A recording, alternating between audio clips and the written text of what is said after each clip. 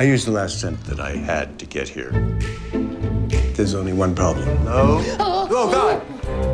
What you're saying is I own this apartment and I also own you. Until I die.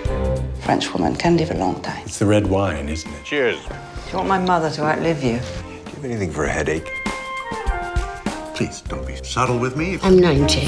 Subtlety is not something that interests me. My Old Lady, rated PG 13. Long life.